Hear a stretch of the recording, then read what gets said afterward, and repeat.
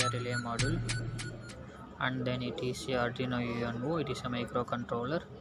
And it is a Bluetooth module connected by mobile application. It is a breadboard connection type. Uh, these are the jumper wires. It is a male to female jumper wires. It is a male to male jumper wires. And then it is a home appliances bulb these are connected by hold uh, first we want to download arduino ide software.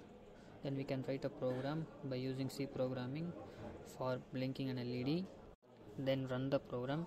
If the program will be error uh, you can check it by referring google. After com- complete your program you will upload the program uh, in your first the bulb will be connected to the mobile application by using bluetooth module